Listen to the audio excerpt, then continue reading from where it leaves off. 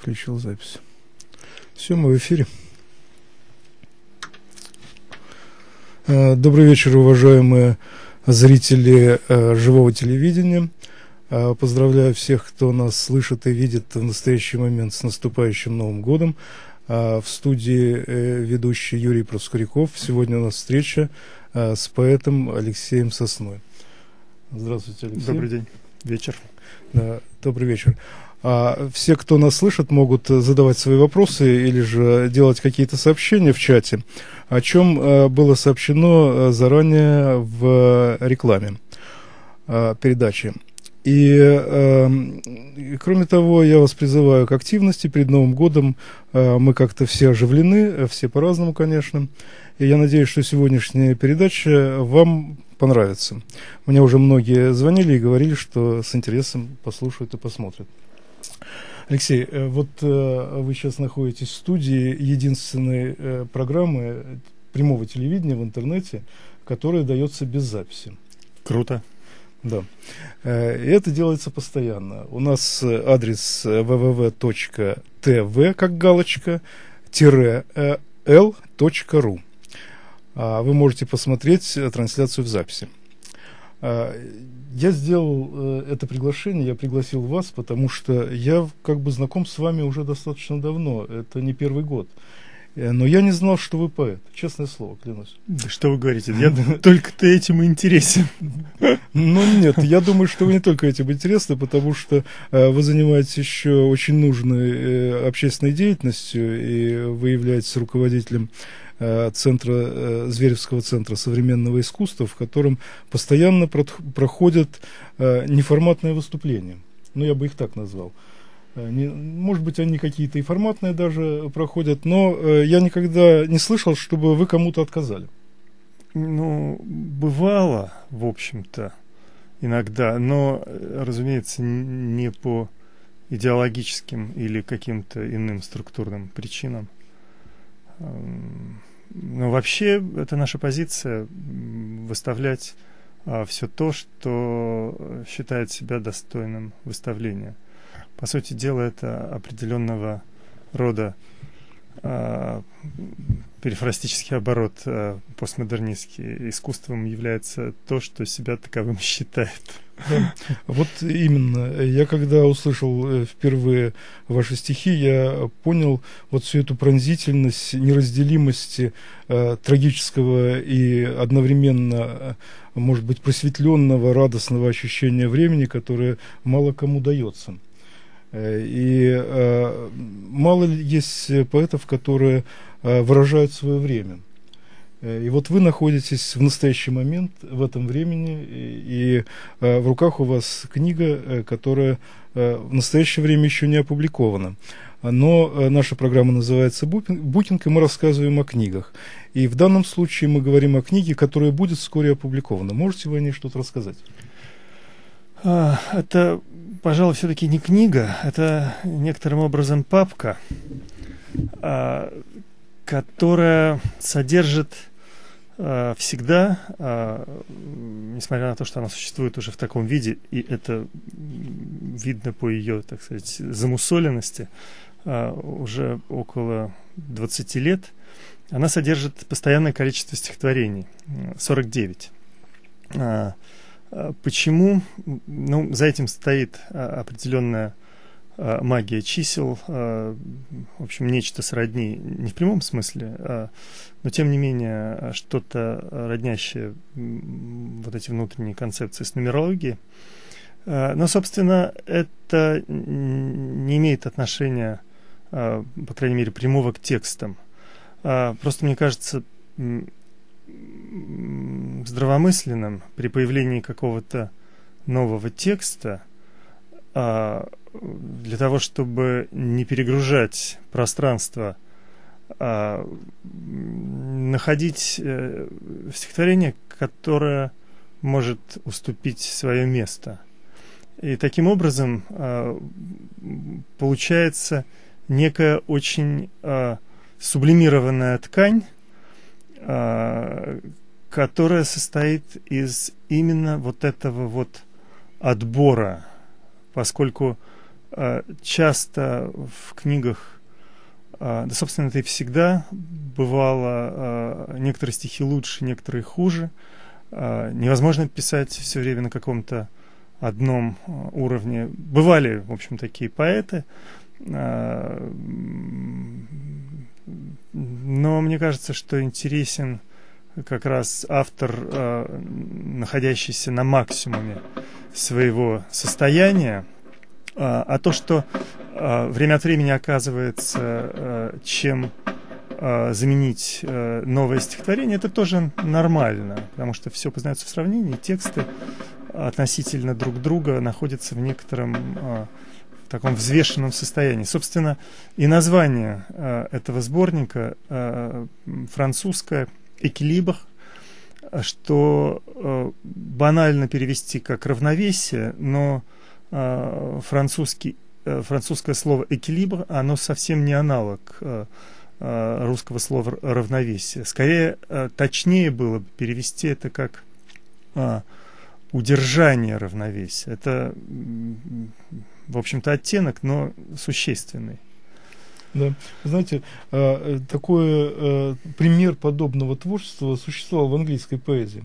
Может быть, где-то еще, но я много лет посвятил английской поэзии и американской, и поэтому э, мне это известно. У них был такой поэт Бейзел Бантинг, у которого, правда, было не 49, а ровно 100.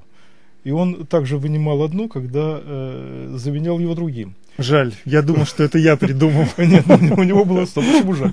Э, он был поэт андеграунда, что совершенно не связано никак с понятием нашего андеграунда. У них андеграунд называется метро.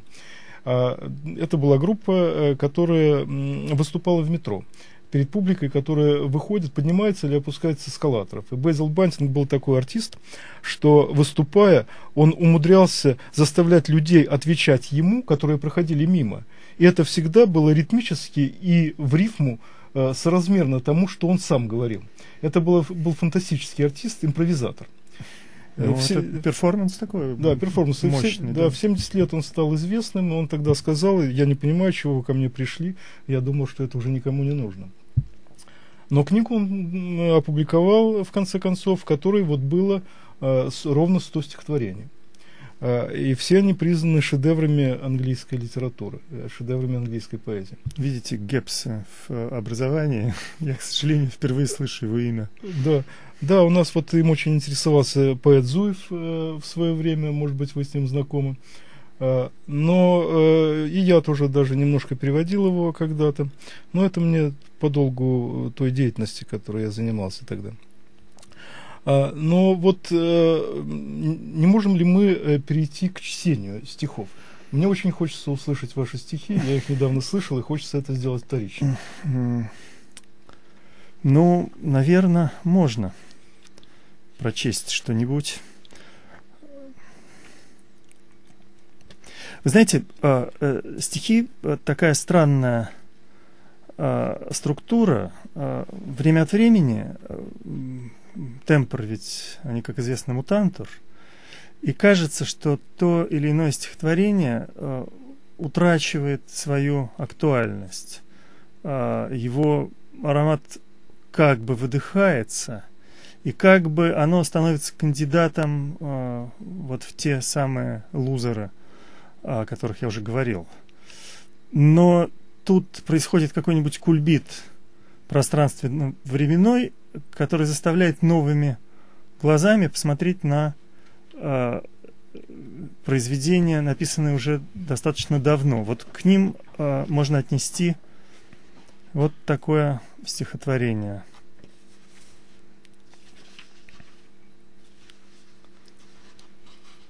Здесь все зарифмовано розы, морозы и слезы. Сама расцветает стихом дневниковая проза, но нас не спасает подобная метаморфоза. Здесь все, что годится в стихи, непригодно для жизни. Здесь дарят венки и надменно лишают отчизны. Живем, привыкая к безденежью и укоризне. Мы, как патриархи, мудры, мы наивны, как дети, Мы платим свободой за трепет строки на манжете — что нас ожидает? Бессмертие, расстрел на рассвете. Нам пуще сумы и неволя Страшится повтора. Одна остается отрада, Светает не скоро. Свирепая ночь куролесит в подобие простора. С моей точки зрения, э, это стихотворение в силу окружающей обстановки обрело вторую жизнь. Да, несомненно, я именно так это и чувствую. Или... Но я его впервые слышу, и поэтому я чувствую это как первую жизнь. Или вот такое стихотворение, написанное в 84 году, а, которое, в общем-то, вылетающий, наверное, не попадет еще довольно долго. А, с эпиграфом из знаменитой песенки 20-х годов. Не 20-х, это, наверное, 10-х. Крутится, вертится шарф голубой. Да. Так вот, эпиграф «крутится, вертится, не упадет», кавалер барышню не украдет. Причем то, что шарф а, в, а, народной, а, в народном воспроизведении перешел в шар, в общем, мало кому известно. Наоборот, известно, что шар, а то, что шарф... Но, собственно, стихотворение называется «Песенка про шарик» и посвящено моему покойному другу Роману.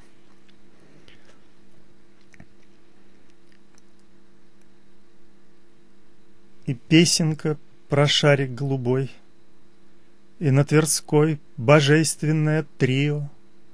Ты помнишь, Рома, как мы пили с Римом, А Рим был третий меж тобой и мной, И Рим был третьим, и уже история, И Ян, и Питер, ресторан Астория, И на столе танцующий Оскар, И девушка с шампанскими глазами — о, Боже мой, она сидела с нами, И песенка про шарик голубой, И газ зеленый, глаз в ночи кромешный, И Ян смешно переводил на чешский Ту песенку про шарик голубой, Ту песенку про шарик, И уж парил, покинув холмы Чехии родной, И мы уже на финишной прямой а мы уже у финиша, мой милый, убит Распутин и разбит Корнилов, и все куда-то валит по кривой. Оскара взяли, Лена вышла замуж, и скоро нас не будет, самых-самых. А знаешь, ведь она тебя любила. И песенка про шарик голубой. Можно я э, вмешаюсь в чтение сейчас, потому что у меня это стихотворение вызвало просто массу ассоциаций. И э, с началом века, которые 20 века, которые я всегда оценивал как уход из э, общества людей, тех, которые э, ко э, смыслом жизни которых была романтическая любовь. И наиболее э, впечатляющими были несколько, Стефан Свейк, э, э, его смерть знаменитая, и почти одновременная смерть Есенина и Асидора Дункан. А она была удушена шарфом, наверное, вы знаете, да? Конечно. Я подумал, что это оттуда аллюзия. И вот этот вот итальянец, когда э, она погибла, он бежал за автомобилем и кричал, я убил Мадонну. Ну, наверное, аллюзия какая-то есть, хотя в прямом смысле шарфа Сидора Дункан mm а, вряд ли я имел в виду. Ну да, но там еще и гостиница присутствует. И вообще петербургский мотив. Петербургский это, мотив да. очень сильный, конечно. Ну, что-то еще, может да, быть, конечно, найти. Конечно. Ну, например, вот такое стихотворение, а, тоже из очень старых. Ну, примерно так. Начало автостопа, часть первая. Если уж мы заговорили о романтическом, то как раз это стихотворение уместно прочесть. И погруженный в скорбь, я мечтал о ней, о безответной последней моей любви, И проносились стада пустотелых дней, Но и они не смиряли пожар в крови. Странно фосфорисцировал город весь, Словно храня следы моего житья. Каждая улица мне говорила «Здесь, здесь ты ступал и думал, она моя». Там продавали в разлив шампанское, а нынче сок, Тот, на котором сидят, подсекая сук, От голубого киоска наискосок, Столб световой, здесь она появлялась вдруг, И в просветленной памяти вспыхнет вновь И заиграет ее чудотворный лик, Как изумленно ее выгибалась бровь, Как прилипал к гортани сухой язык. Что ж ты лучишься ночью, моя душа, В час, когда спит на часах Неподкупный страж у мавзолея, И в спину не ждешь ножа, В час, когда не совершается даже краж, Как мимолетное виденье, душа моя, Вот ты вернулась в реальность, И та же ложь На обнаженность твою Ураган вранья Утро обрушит, и будет не нужен нож. Город блаженных встреч, затяжных разлук, Город, где всюду чудится профиль твой, Я променять решился на нежный юг. Мой автостоп начинался на кольцевой. И часть вторая. Свирепая пыль, автостоп, автостанция и забытый святыми приснами город Елец. Со свистом проносится трейлер, и драйвер-стервец — и некуда деться от пыльно-бензинной струи. Стою, ожидая, когда Огурцов продавец Натруженным пальцем лукаво поманит меня. Какой хлебосольный народец! Спасибо, отец! Хороший огурчик, спасибо, скажу я, жуя. А он не поманит. И долго картина видна, Торчит на обочине, не поднимая руки, Московский опальный пиита, Алеша сосна, Вблизи протекания одноименной реки. Но даже и этому стопу наступит конец, И чудо свершится, и пыли иссякнет струя. Забытый святыми и присными город Елец, Забуду и я. Спасибо. А, вы себя в этом стихотворении назвали опальным поэтом. А, что вы имели в виду под опальностью? Ну, я понимаю, вот опала э, при состоянии какой-то знатной особы или же государственного деятеля, как э, знаменитый китайский поэт, который был изгнан э, от двора императора и жил в пустыне. К нему приехал там лет через 30 к старику Мандарин и спросил его – пишет ли он стихи? Он сказал, да, чем я еще могу заниматься? Если бы меня не удалили от двора, я бы занимался политикой. А, ну, ко двору я с Божьей помощью никогда приближен не был. А, а Пала, ну, вы знаете, это некая поза все-таки. Это стихотворение 87 -го года. Собственно, ему 20 лет. Да. И э, тогдашнее ощущение неприближенности к поэтическому пирогу, оно уже порождало чувство опальности. Ну вот, например, есть наши и не наши, да? Это да. очень, очень, очень опасно сейчас говорить в этих терминах. Да, я понимаю. Могут неправильно понять. Ну, обычно понимают неправильно. Лучше так скажем, есть наши а есть наши. Да-да, может быть. Я так понимаю, что э, вот э, такой философ есть э, самодеятельный Соловьев, он ну, как-то... Владимир Сергеевич, да, да. великий философ, да, как великий... же самодеятельный. Да, нет, но он, ну, Просто... не, он как бы не в университетах не участвует.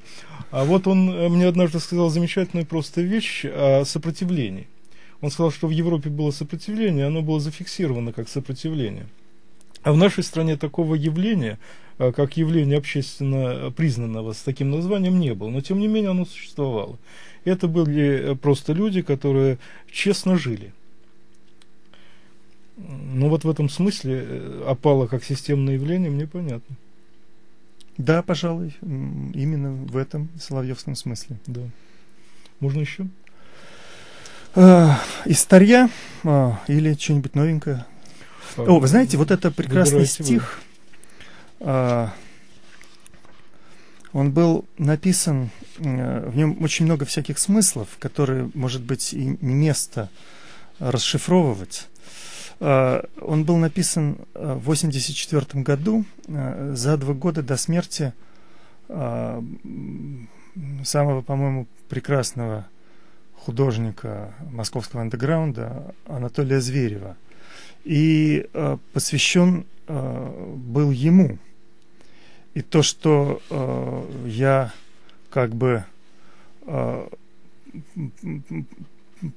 провидел э, обстоятельства его смерти, э, не является никакой моей особой заслугой, потому что, с одной стороны, их мог э, не предвидеть только, э, в общем, ничего не понимавший э, человек, э, а с другой стороны, э, особо, собственно, никаких интеллектуальных рассуждений за этим не стоит, это было как бы послано, я просто понимал, что человек такой температуры э, жизненной, иначе э, погибнуть не может. Э, собственно, стихотворение э, называется «Тоска по ностальгии». Это те годы, когда пол Москвы бредила отъездом, и э, такая мысль абсурдная э, такому человеку, как Зверев, в голову, конечно, прийти не могла, потому что он был плоть от плоти, э, московской структурой. А, но а, вот в этом кругу а, художника Романова Михайлова, это знаменитое было место Парнас, во второй половине 70-х, первой половине 80-х годов, или село Михайловское, называли это, была улица Рылеева, а ныне опять Гагаринский переулок. Вот там была такая квартира, огромная разбитая коммуналка, за выселением или за каким-то другим э, способом. Э, хозяин э, захватывал эти комнаты, и там была такая богемная среда, такой действительно настоящий парнас. Художники, музы, поэты, к которым я и имел честь принадлежать и на правах которого, собственно, в этот дом и приходил. Вот там была шутка, а, по поводу этой тоски по ностальгии. У меня тоска по ностальгии, да. говорили а, художники, и, собственно, один за другим а, уезжали, но, разумеется, вот о, о Звереве все, что сказано выше, а, на него это не распространялось. Стихотворение такое. Друг мой, друг мой, я тоже болен — Врач не знает, откуда боль, Потому что я с севера, что ли? Тот ли ветер и поле? То ли? Или, может быть, Зверев Толя? Уж не Толя, а Анатоль? Осенняя сонная муха жужжит По глянцевой глади стекла, И в городе поздняя осень дрожит, Деревья сгорели дотла. И мой непохожий портрет, который похож на романа, а я на него не похож, был пьян знаменитый художник, тот самый, что умер недавно. Горячка спалила его. В бреду он ругался и плакал, и требовал водки и красок, а рядом стояли друзья и видели участь свою, и пили потом на поминках. И все же портрет — на стене. Он гаснет и скоро исчезнет, на город обрушится ночь, и в дверь постучат Спартаком, и люди войдут, свет зажжется, вина принесут, и исчезнут нелепые детские страхи, и будем опять пировать, покуда не кончится водка, покуда не кончится краска, покуда не кончимся сами, и все-таки встретим рассвет. Очень московское стихотворение. Э, я как-то отделяю от всей русской поэзии э, поэзию Москвы. Э, в ней присутствует какое-то качество вот современной поэзии Москвы, которое не свойственно поэтам, живущим. Это не потому, что хуже или лучше, а вот это пронзительное ощущение колеблющихся ветвей, какого-то практически нереального света в городе и часто безнадежного мироощущения, оно очень характерно для Москвы. Ну, не могу с вами не согласиться, что московская поэтическая, как бы ее назвать, а, экзистенция. Да, экзистенция, аура какая-то здесь присутствует. Она, наверное, отличается от иной. Ну, собственно, и питерская также своя немножко. Да, немножко есть. А, и она разная в творчестве, например, там, Бродского и Олега Григорьева, да. но в то же время это питерские поэты. Ну, совершенно очевидно. Э, и э, это не в плане какого-то спора и измерения качества поэзии, которое нельзя измерить, но чувство, сопровождающееся, сопровождающее город в стихах поэтов этого города, оно несомненно. А, вот а, стихотворение тоже примерно тех же лет, начало, не начало, середины 80-х, а, с эпиграфом из Маяковского «Я хочу быть понят моей страной». Чтобы выжить в дебрях моей страны, надо навек затвердить одно. Деньги нужны, покупать вино. Больше они ни зачем не нужны. Самое сладостное из дел для не имеющего ни привилегий, ни прав вихрем ворваться в винный отдел, хмурую очередь миновав, и, подмигнув, сказать старику, у которого стройком подрагивает рука, «Слушай, друг, возьми коньяку», и подумать, давно не пил коньяка. Гонорар пустяк, три звезды коньяк. Как пугал Маяковский, а ну-ка дрызнь. Вот и все, чем смерть жива, писал Пастернак. Я поправлю его. Вот чем жива жизнь. Да, вот такие стишки. Я знаю, что э, вы э, очень э, скромный как автор – и, и, э, но я слышал просто э, две-три замечательные вещи, которые вы пели, а не декламировали. И одна мне просто запала в голову, там, где есть в конце, э, говорю «мерси».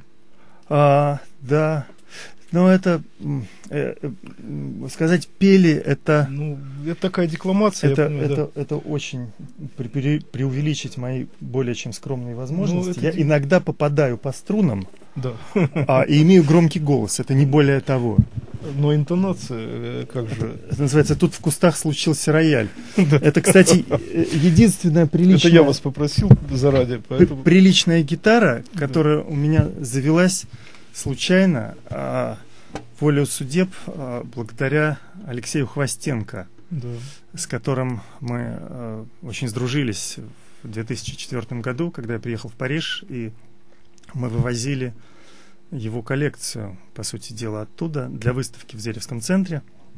И он мне подарил эту гитару, сказав, что, в общем, мне с ней будет легче жить. Это действительно самая хорошая гитара, которую я ну, не сказать держал в руках, но который владел. Потому что у меня была одна шиховская, такая раздолбанная, прираздолбанная, а вторая ленинградская. В общем, одна страшнее другой.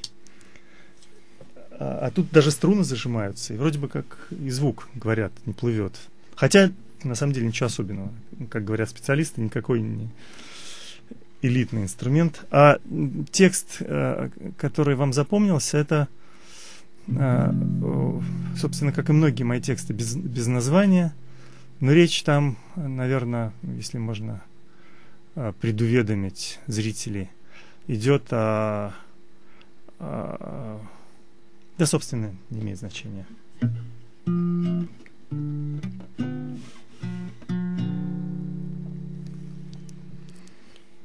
И когда... И когда не жаль ничего, ничего, и готов расстаться совсем, совсем. Из того, что когда-то омрачало чело Тем, что как хотело, так себя и вело. Кем ты готов себя заменить, скажи Выбери ученика, он ты, разложи перед ним свои чертежи, покажи над пропастью, не полжи, круче, чем взятые рубежи, и прозрачнее, чем мастером выложенные витражи, высший пилотаж немоты, подними его, оторви от сна. Выпей с сто канистр коньяку, Расскажи ему, как ты был со сна, А теперь просто так, Little Bit куку.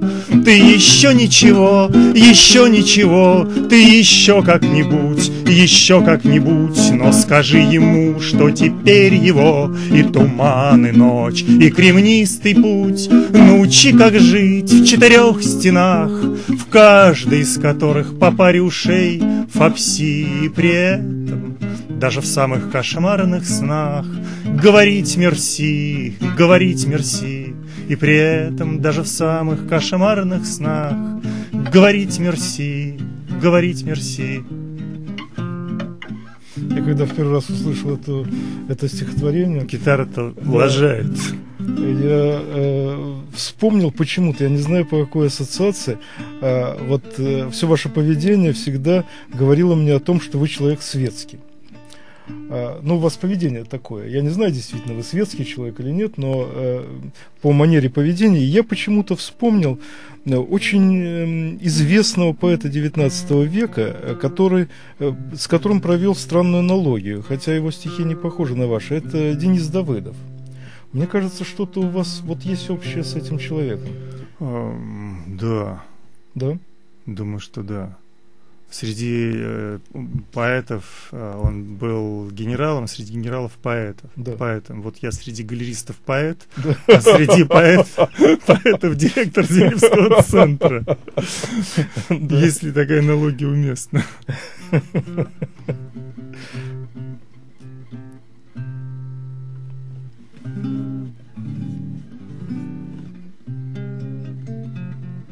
Да, настройка гитары это отдельная профессия на самом деле. Ну, не очень важная для такой декламации.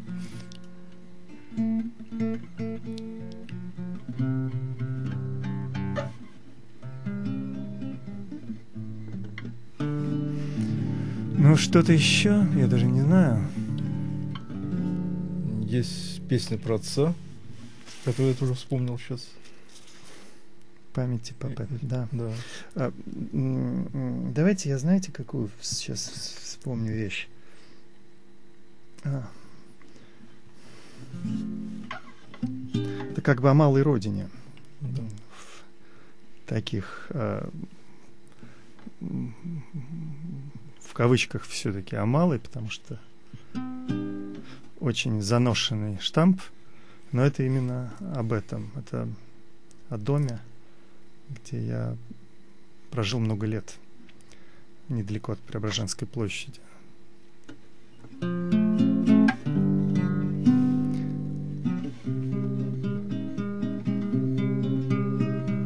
Ты видишь, вот он, Пятиэтажный во вселенной всей нет другого такого. Теперь понимаешь, как это важно, то, что солнце появлялось в половину второго, выйди из-за крыши того же дома. Он загибался под кривым углом, а там еще мансарда, ты помнишь, Рома, будто на доме еще один дом, вот бы жить мне в ней Я бы каждое утро просыпался радостный В солнечном свете рассыпал бы в ванной Чужую пудру. Как это нередко делают дети Спускался бы вниз по чужому подъезду Здоровался с практически чужой старухой. Нет, верните меня на место Что ты удумал, голова два уха Смотри на веселую эту мансарду. Другая судьба у тебя другая. Жить надрывно, писать надсадно. Тяжелые слова из себя извергая. И встретить именно тех, а не этих. Ну как бы шли по тому подъезду Люди, которых уж нет на свете Которых на время дали время и место А в полвторого здесь появится солнце. Эко диво, как сказал знаменитый День чудесный, когда дерутся два японца Художник один, поправляя Пита Он был, конечно, не мать Тереза. Все время хохмил и страдал инурезом Мало кто видел его тверезым Прости я опять обо всем и разом.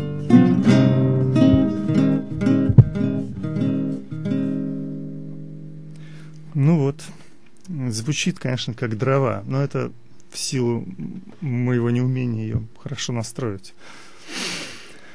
Ну, вот я этого не замечаю, поскольку э, я не настолько музыкально образован, чтобы э, войти в такие тонкости, но я понимаю, что это помогает вот так декламировать.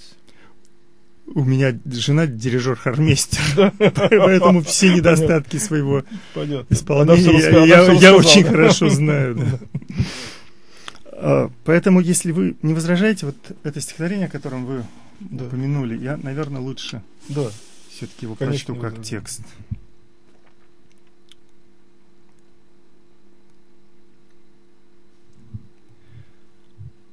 Представляешь, отец, эти козлы — они снесли этот дом, снесли этот дом. Оказалось, реконструировать не так выгодно, как снести. И они, эти умники, снесли его. Но дело в том, что еще ни один ничего не смог с собой унести. И стоят, не замечая, что остались совсем одни, складывают денежку к денежке, день ко дню. Это только их внуки поймут, возвращая украденные дни, да и то лишь когда, растопырив руки, пойдут ко дну. А пока сам Мамонов встает, как огромный мыльный пузырь, и на страшный пустырь стройплощадку смотреть не хватает жил. Что ты заводишь? Песню военную, милый снегирь. Слава Богу, отец, ты не дожил, ты бы не пережил. Ты ушел и не видишь, как эти козлики невдалеке топчутся, тычут пальцами, прикидывают мысленные броши. Да и как им узнать, что счастье в теплой небритой щеке, в доброй руке, если рядом одна охрана и ни души?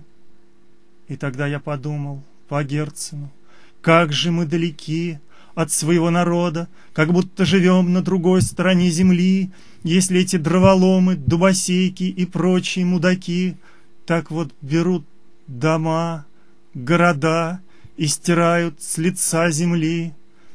И воскликнул по-русски, Господи, вот я весь, видишь, пою и танцую, без голоса и хромой. Здесь, конечно, наша Родина, но что-то из нас не здесь, и отовсюду оно вернется домой. Домой. Вот Восхищен. такой стих. Спасибо. Прочтите еще что-нибудь из того, что вспоминается.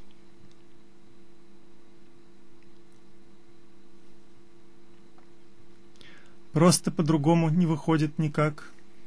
И традиционно то погром, то поджог — это наша родина, то храм, то кабак. Славно мы с тобой обосновались, дружок. О казачьей вольнице и думать забудь, Разве что приснится неизвестный солдат. Преподобный Ленин указал этот путь, Не дурдом, так зона, не санчасть, так штрафбат. Не мытьем, так катаньем, не бродом, так вплавь, В это брито стрижено, налево кругом, Там и объяснят, что настоящая явь не петля на горле, так похмельный синдром. как тогда сверкали мысли славные те, Власть прижмем к ногтю, и сразу все как с куста. Помнишь, как ты грезил о работе рантье? Я теперь рантье, да только рента не та. Да и ты не ты, и только память горит, Словно наяву тот Новый год, маскарад, Где теперь та девушка, которой навзрыд Мы Эдгара По читали вечность назад? Что теперь нам ужасы смешные его? А тогда казалось, гениальный поэт. Ничего, дружище, ничего, ничего, ничего на свете, кроме Родины, нет. Великолепное стихотворение. Мало было в 20 веке на русском языке написано таких хороших стихов. Ну, ну уж, уж да. прям уж вы скажете. Мало, мало, да мало, ну что да, вы. мало. Ну что вы. Вот, э, вот это вот э, многим э, поэтому это вот привычка нужно просто взять себе за образец, одно вынимать, а другое вкладывать, и тогда э, будет так получаться. А время очень жестокая вещь по отношению э, к тому, что говорит человек. И многое становится куртуазным, многое вульгарным, многое просто непонятным, потому что этого нет и никогда уже не будет, и никто не может этого вспомнить и об этом рассказать. И если даже и расскажет, то это не будет близким. Но что-то есть такое, что остается всегда. И этого мало. А, вы знаете, сейчас э, вот э, в моем мироощущении как раз а, вот эта поэтическая планка – она постоянно, если взять такую сомнительную метафору, а, все время поднимается. А, я окружен сейчас такими поэтами, у которых я недостоин развязать ботинки. Это Николай Байтов, это Владимир Строчков, а, блистательный, совершенно потрясающий поэт и личность. А, и такое количество совершенно замечательных поэтов, что а, себя с ними как бы, ну, даже не сравнивая, а я просто вполне осознаю свое, может быть, в каком-то смысле уникальное, но тем не менее место, и претендовать на, на, на, на нечто большее, чем то, что я имею в настоящий момент. Я взрослый дядя, мне 48 лет. Ну, не так-то и много. Ну, с одной стороны, с другой Для стороны... русского поэта, который, как литература веда считает, очень поздно формируется. Лермонтов 20 лет Да, лежал уже- в могиле, а да, Наполеон да. уже, по-моему, Ну, не про знаю, был, был не он еще вспоминать. жив или нет. Да. А, это, это возраст э, смерти Мандельштама. Да. То есть, а, так вот, о поэтах, а, которые последние, может быть, четверть века а, живут, а, не все уже, но все-таки многие, а, в одном, в одной а, экумене. Это Алексей Цветков, Да. а, это Сергей Гондлевский, это Бахыт Кинжеев. Это мне не хочется там, использовать такую терминологию, мои кумиры и так далее, и так далее. Это мои старшие, во всех смыслах, старшие современники, а, блистательные, большие поэты. Вот вы сказали, что Зверевский центр живет э, э, благословением Божьим или, может быть, даже попустительством его. Но а, мне кажется, что вот это ваше качество, э, которое позволяет вам оценивать талант других людей, оно тоже не так-то часто встречается. Э, И это очень ценное качество. Я не говорю о том, что поэты сравнимы. Мне кажется, хорошие поэты несравнимы между собой. Они находятся каждый э, в своей икумене, и именно поэтому они нам и интересны. Ну, говоря языком более таким секулярным, а, каждый разрабатывает свою грядку, Ну да.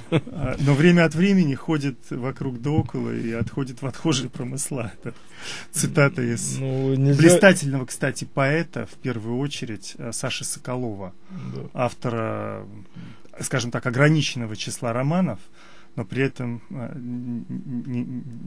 невозможно сбросить его именно поэтический дар. На что сейчас Существует. мало кто обращает внимание. почему-то. Ну, не знаю. Да, ну, Все у нас читают романы. считают Да. гениальным, гениальное его произведение. Абсолютно блистательный поэт, в первую очередь. Вот э, я как раз об этом и говорю, что э, у вас есть нечто, что позволяет э, вам любить э, поэтов, и, наверное, это следствие искренней любви к поэзии, так же, как э, искренне ваши стихи. Ну, может быть. Хотя, с моей точки зрения, это слишком общо сказано. Ну а как это сузить? Э, э, Это очень трудно поддается сужению. Вы знаете, э, я бы, может быть, даже готов был бы сказать два слова о, о, лямбде, Да, о длине волны. да, да. А, все мы а, те или иные частотные характеристики. И, а, вероятно, волны определенного диапазона, так же как а, есть видимые и невидимые а, части спектра, а, слышимые и неслышимые звуки, а, точно так же вся биохимия через резонанс и вибрацию определяется. И о воде можно говорить как об универсальном проводнике и растворителе и все такое, все такое. А, мне бы не хотелось сейчас уходить в такую грубо материалистическую плоскость, но тем не менее а, то, что является а, поэзией, а, так же как то, что является музыкой, какой бы неожиданной по какофоническим, почти каламбур, фокусом а, это не было, это определенный диапазон, определенный Спектр. определенно э, тут с терминами плохо, Спектр, что, наверное. ну, наверное, часть э, спектра определен, определ- э, то есть это диапазон, это именно Да. диапазон, диапазон от таких волн до таких Да. поэзии, причем диапазон гигантский, э, скажем, с моей точки зрения, вы, я знаю, со мной, наверное, не согласитесь. Почему? А, Блистательным поэтом мне представляется Андрей Родионов. Да. А он работает просто на других э, частотах, в других частотных характеристиках. Но ведь это не имеет значения, соглашаюсь я или нет. Э, И ну, как? Мне кажется, Мы с вами собеседники. мы собеседники, да, но у нас еще есть зрители, и вы являетесь гостем студии, и им интересно узнать, что вы думаете э, по тому или иному вопросу, относящемуся к искусству, к поэзии, к музыке. Вот совершенно разные поэты, например, Родионов и Ге- Герман Лукомников, и каждый существует в своем диапазоне, и при этом э, э, и тот, и другой в определенном смысле э, основоположники жанров. Да. А, Сравнивать их бессмысленно, они слишком разные, при этом и тот, и другой по модулю на все сто. Поэты первый сорт. Да. А векторы могут быть совершенно разные. Да, возможно, кого-то из них мы в ближайшее Ну, время тут я перешел уже, студии, да. По-моему, в другую образную, образную систему. Ну да. Э, Но я умудрился этого совершенно не заметить. У нас есть еще немного времени. Я бы хотел, чтобы вы прочли еще два стихотворения, те, какие вы хотите прочесть.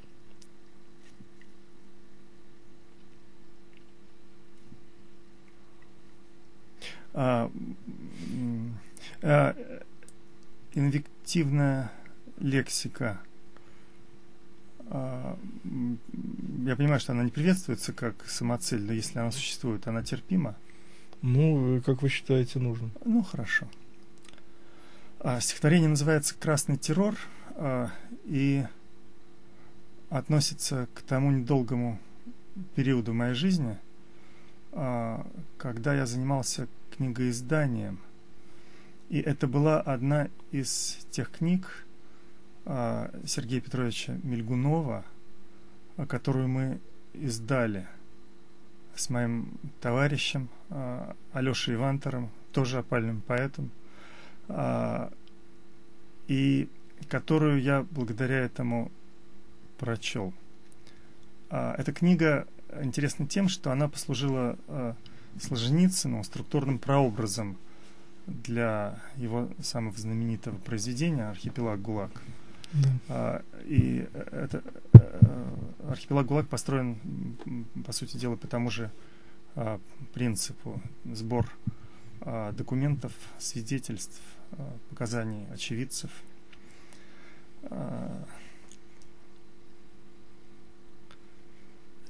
Стихотворение такое. Цензору, что пускал эту книгу в печать, было лет шестьдесят, шестьдесят пять.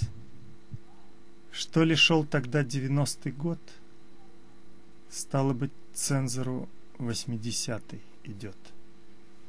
Но матер цензор, сука, был и сметлив. Он для фирмы внука и спросил эксклюзив. Тара, фура, пачки поверх голов. Вот таким путем пришел Мельгунов.